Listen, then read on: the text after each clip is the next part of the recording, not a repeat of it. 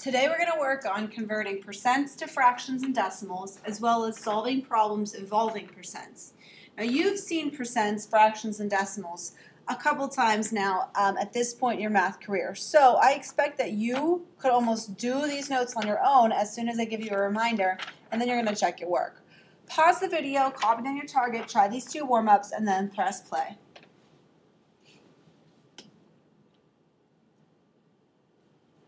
So for the first warm-up, on my last test, I scored a 68 out of 80. What, what percent is this?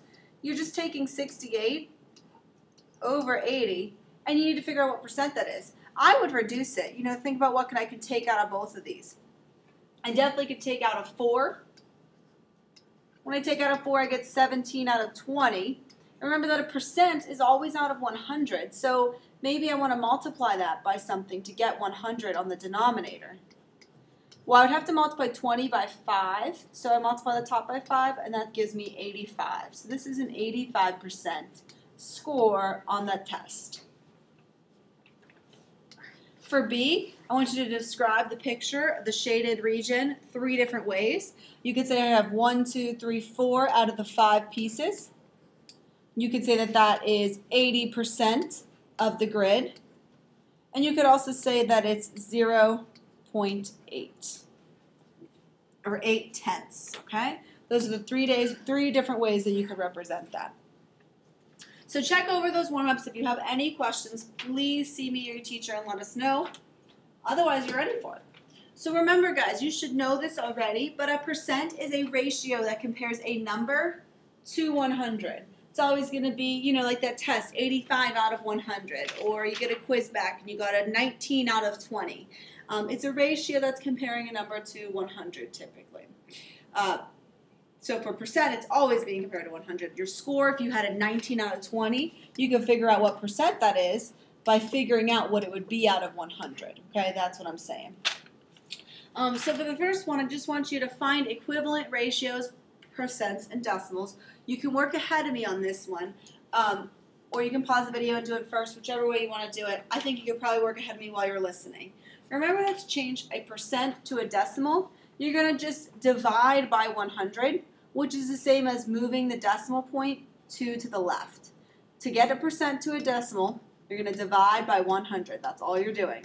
So my decimal for the first one would be 0.25. To get a fraction then, you could always start with your percent, which is 25, but it's a ratio, so it's out of 100, and reduce that down. What can you take out of both of those? And what does that leave you with?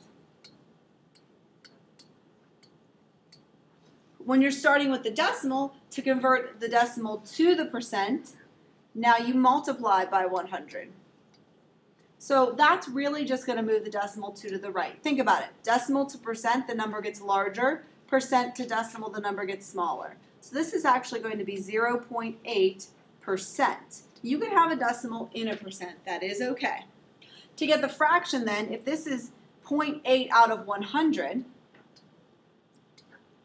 we don't leave decimals in fractions. That's really 8 out of what? A 1,000. Now reduce this fraction. What can you take out of both of those? You can actually take 8 out of both of those, but if you don't know that right away, maybe you start with 4. If I take out 4,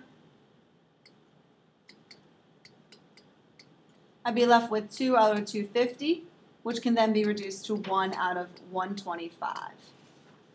And the last one, starting with a fraction, to get the percent, just get it to be out of 100. So if I want, if I have 61 out of 50 and I want to make it a 100, what did I do to get there? I multiplied by 2, so I multiply the top by 2. That's going to give me 122. That's 122%. You can have a percent over 100, okay? You can find it. Um, so that is okay. Then to get it to be a decimal, again, you just divide by 100. That's going to move the decimal two spaces over to the left. This should, be, this should have been a review for you. You will have some of these questions in your quick check, but it should go pretty easy for you. If you do need more help, please open up your book and look at more examples for this. So here's the two different ways you can solve these problems, okay? And I'm going to do number two with you, A and B, and then you're going to do three and four and check what I have. There's two options for you. You can either use ratios, set up a proportion. If you do that, it's going to be part over whole is equal to percent out of 100. Your teachers last year might have said is over of. Okay, but make sure that you put the whole on the bottom, whatever the whole is that I'm talking about. Or you can set up an equation, but when you do that, remember that of means to multiply, and also write this down. You need to make sure you convert your percent to a decimal before you put it into an equation. You cannot put 80% in as 80 in the equation, you would want to put in 0.8. So here's what we're going to do. We're going to solve them both ways. I'm going to solve A using a proportion and B using an equation. Then you can do 3 and 4 on your own any ways that you would like, but I do ask that you at least try one each way. So for A, let's do a proportion. If I want to find 60% of 7, 60 is my percent. Percent is always a comparison to 100. The of 7, if I want to find 60% of 7, 7 is my whole. That's my whole thing, and I'm finding a percent of it. So I don't know what percent that is, or what number that is, so I'm going to put an x there. Solving a proportion, we saw that we can cross multiply as a shortcut. So we're going to have 100x is equal to 420. Then you can divide by 100 on both sides, and x is going to equal, please, please, please don't pull your calculator out for this, 4.2. That's one way you can set up the problem, okay? At, um, a proportion, part over whole equals x uh, equals percent over 100. Another way you could do it is to set, write an equation. And I literally like to just translate it right below the words. But remember that percents always must be a decimal. So if I want to find, I don't know what it is, 210% to make that a decimal, I'd move it over to. Of means to multiply, and 80 I just keep the same. That's it. That's all I'm going to do. If you set up the proportion, you're going to end up doing this multiplication anyway. So it just kind of slims down your work. I want to find what that is, so to finish off the equation, I could put x on the other side. All I'm going to do is multiply these. So times 80. Again, please don't pull your calculator. Come on, put the zero down there. 8 times 1 is 8. 8 times 2 is 16. We have one decimal place in the numbers that you're multiplying, so you're going to move it over 1 in your answer. x is equal to 168. On all of these problems, please ask yourself, is it reasonable? Does it make sense? Does it seem right? 60% of 7, well 60% is a little bit more than half. What's half of 7? Half of 7 is 3 and a half. Is this a little bit more than 3 and a half? Yeah, that seems to make sense. So I'm not really checking, but I'm just kind of verifying that it could possibly be true. 210% of 80. Well, 100% of 80 would be 80. 200% of 80 would be double 80, so it'd be 160. Is this a little bit more than 160? Yeah, so it seems that it could be correct. So here's the deal. I want you to do three and four. Pause the video and try three and four right now. Just make sure you at least try A or B as a proportion and A or B as an equation. So pause the video and try that now. And then I'm going to show you my work for this. Also check at the end, is your answer, answer reasonable? On these examples, guys, your X may be in a different spot than that first example. Go ahead and pause and try.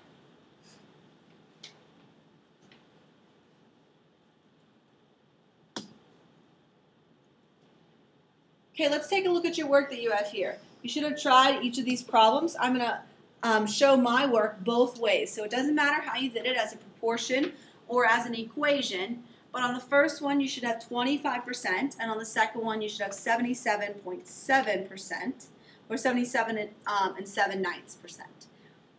If you need to, if you don't have these numbers, please pause and make corrections. Try, try to find where you made your mistake, identify it, and correct it. On the next example then, again, I'll show you my work both ways. So I did equations and proportions on all of these problems. You only have to do one. Um, you should get 35 for 4A and 500 for 4B. Notice how in my equations, you know, when I see that word of, I make multiply. When I see the word is, I put equals. This is the same work as this. It's just a little simplified, okay? Whichever way you want to do it is fine as long as you document your work. Again, pause if you have any corrections to make. All right, let's try this jewelry example then. Jewelers use the carat system to determine the amount of pure gold in jewelry. Pure gold is 24 carats, meaning that it's 100% gold. So therefore, pure gold has all, the whole part is 24. That's what you need to keep in mind. A 14 karat gold ring will be 14 parts gold and 10 parts other metal. What percent of this ring, if it's 14 gold, 10 other metal, what percent of it is gold?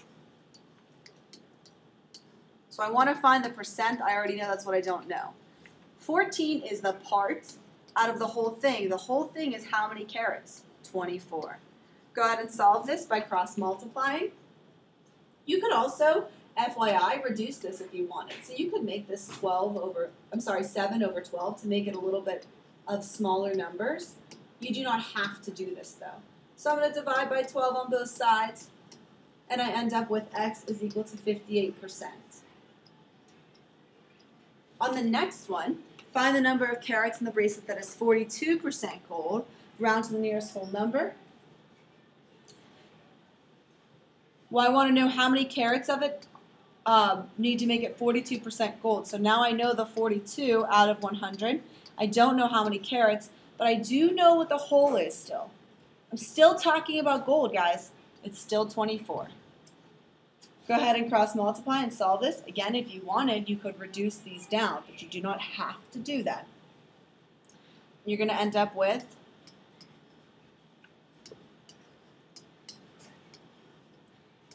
ten point oh eight, but it says to round to the nearest whole number, so it's about ten carats.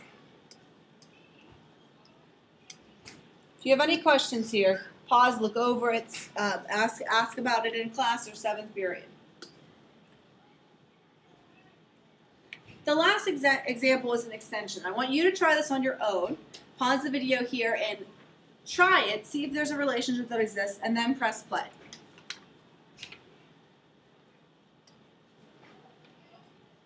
Okay, I hope that you've tried it and hopefully you have noticed a relationship. I did a couple more examples here and I found that they always came out to the same answer as each other. Why does that work? Why does that happen? Well, think about it. When you do this proportion, you are always multiplying the whole times the percent. So if you switch the whole and the percent numbers, they're still going to be multiplied together when you cross multiply. I'm still going to have whole times percent no matter which way you set it up. Therefore, the cross product's still the same, so your answer is still the same. All right, you're on to your quick check.